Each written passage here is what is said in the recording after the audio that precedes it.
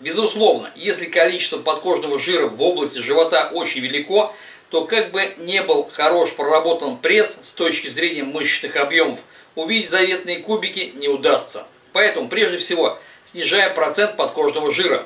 В среднем от 10 до 12%. Да, это не просто, не быстро и не дешево, но вполне реально. Есть категории людей с высоко посаженной сухожильной перемычкой в области живота. Таким людям практически невозможно значительно увеличить кубики и сделать их ярко выраженными. При очень низком проценте жира это будет просто ровный живот со слегка заметными линиями пресса. Алкоголь, жареная, копченая и сладкая пища в большом количестве нарушают процесс пищеварения и приводят к образованию сильного отека в области живота, даже при низком проценте подкожного жира. Лишняя вода под кожей будет мешать разглядеть ваш идеальный пресс. Именно по этой причине я не являюсь сторонником жесткой диеты, ибо удержать ее крайне сложно на длительном отрезке времени.